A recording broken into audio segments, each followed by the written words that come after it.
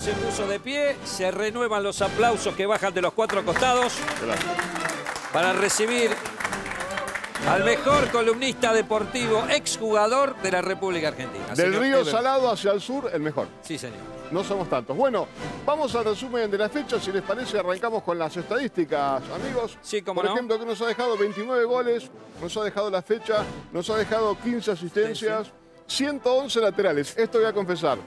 No estoy tan seguro que sea, porque los contó Osvaldo Regatuso, Ah, mi asistente. Yo Ah, tengo un asistente personal. Asistente. Ah, ok. Los contó él. Puede haber uno más, uno menos. Esto es más o menos, al 111. voleo.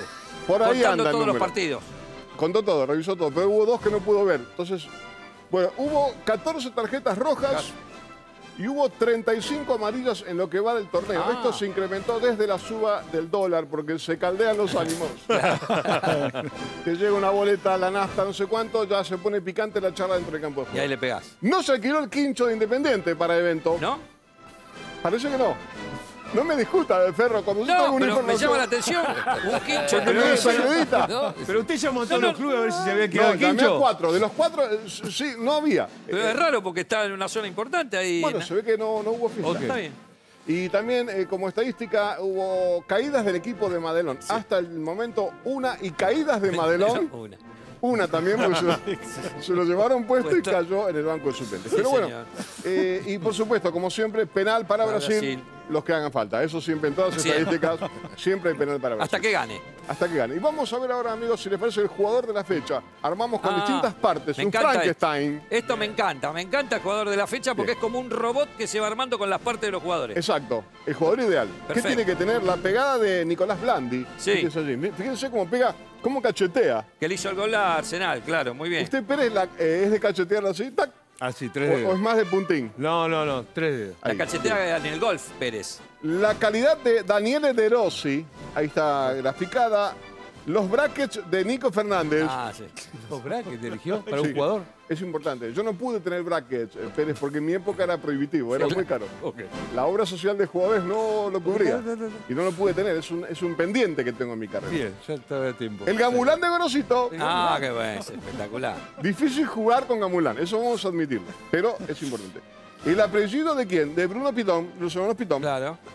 Y la definición, la definición, tengo que elegir una definición para el torneo del talent. El talent 22, sin tormenta, con la antena bien posicionada.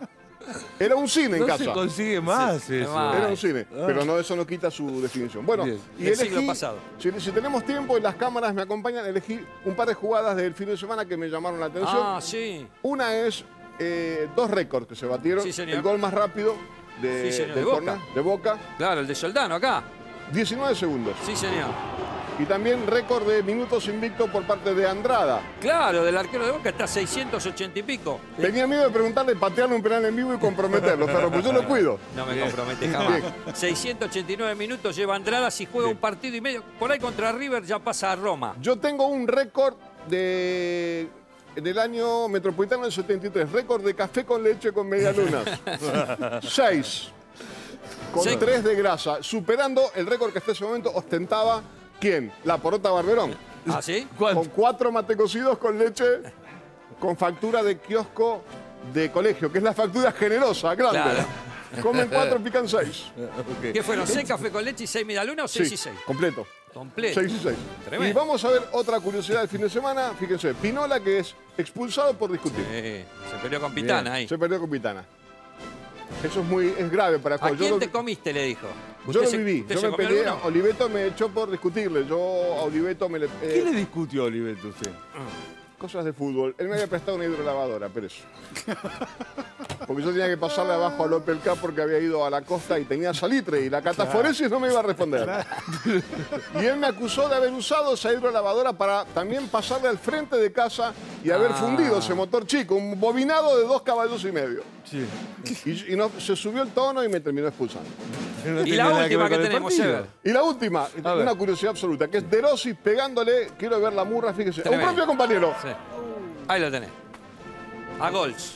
a Gotch, a Gotch. Le pegó una planchazo. Bueno, ¿Usted le pegaba? ¿Le pegó a algún compañero alguna yo vez? se la pegué a un compañero. ¿Se la pegó? Se la pegué a un compañero en el compromiso de Madera Outes, Uh, a Huguito Sayorato. Engancha la suela contra un zócalo mal pegado ¿Y? y quedó lengüeteando. Yo siempre llevo en la sobaquera parche y solución. Le puse la orié, la activé, lo, lo hice bigotear y le puse la pata de algarrobo de la mesa dulce que estaba llena, cargada de polvorones. Sí.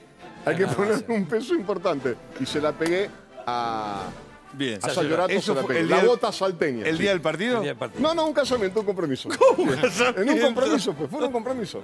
Pero se la pegué a un compañero. Bien. Muy Muchas bien. gracias, Seba. No, por favor, información adicional. Acá estamos venimos. todos. Ah, bueno.